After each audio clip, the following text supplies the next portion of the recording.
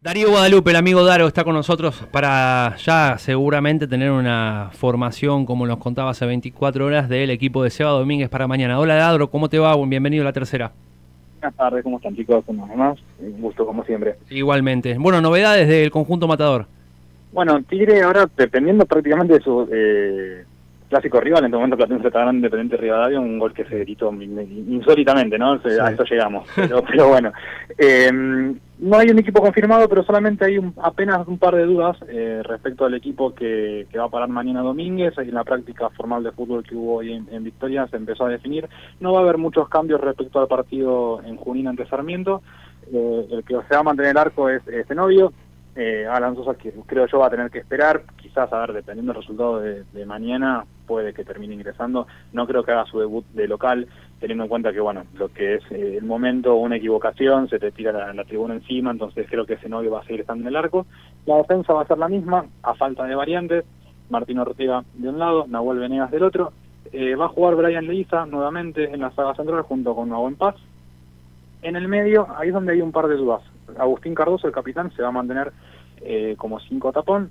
A su lado puede que esté Lolo Miranda, uno de los refuerzos, o Martín Garay, un jugador no tan afianzado en el medio campo, pero más polifuncional. Eh, pero la idea es que Tomás Galván, el escolón, juegue un poquito más suelto por los costados. Del otro lado, para mí va a estar eh, Blas Armoa, otro quizás de los cuestionados, pero bueno, tiene el voto de confianza de Domínguez para llegar por las bandas y tirar diagonales.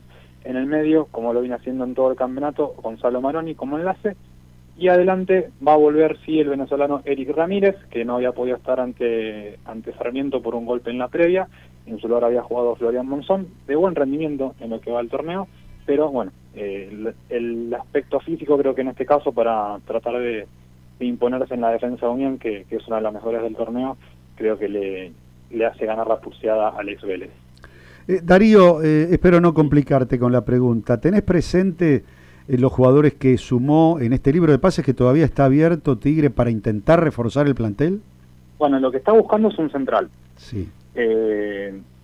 cuando parecía que el mercado de pases se cerraba, o sea, la realidad es que tanto Domínguez como el cuerpo técnico no quieren entrar por traer. Eso es un error que se cometió a principio de año en el mercado de pases pasado se, se, vio reflejado de que la gran mayoría de los que llegaron en este momento se terminaron yendo apenas seis meses después. Va a llegar un jugador que seguramente esté militando en el, en el fútbol argentino, no creo que traigan algo del exterior, eh, por las imposibilidades y aparte porque también la mayoría de los mercados también está cerrando afuera. Eh, entonces yo creo que de los que se hay ofertados, hay, hay algunos que se han acercado, pero van a ser evaluados los nombres entre cuerpo técnico y, y como es dirigencia. Eh, no hay ninguno que esté avanzado, la realidad es esa. Eh, para mí, a menos que haya una oferta irrechazable, algún jugador que quizás le aporte realmente un salto de calidad a la defensa, eh, no va a haber otra otra otra llegada. Creo que Tigre se va a tener manejando con lo que hay.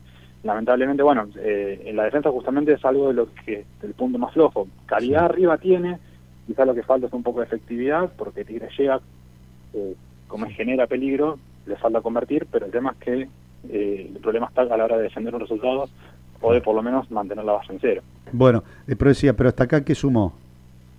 Ah, hasta acá sumó, bueno, Lolo, Miranda, eh, fue uno de los últimos refuerzos, Alan Sosa, que se le compró el pase a Gimnasia de Jujuy en 300 mil dólares, eh, vino Romeo Benítez, paraguayo que vino de Atlético Paranaense, Florian Monzón, que es juvenil de Vélez, pero que venía cedido de Central Córdoba, y Nahuel Venegas, proveniente de San Martín de Tucumán, que había hecho inferiores en Tigre, no llegó a debutar, después estuvo militando en el ascenso hasta que llegó al equipo tucumano, donde se convirtió bueno en uno de los baluartes de, del equipo, como dice Dibuja, que en este momento es líder en, su grupo en la B Nacional. Darío, agradeciéndote como siempre la predisposición y la calidad de tu información cada vez que te requerimos de corrido, posible formación mañana de Tigre para jugar con Unión.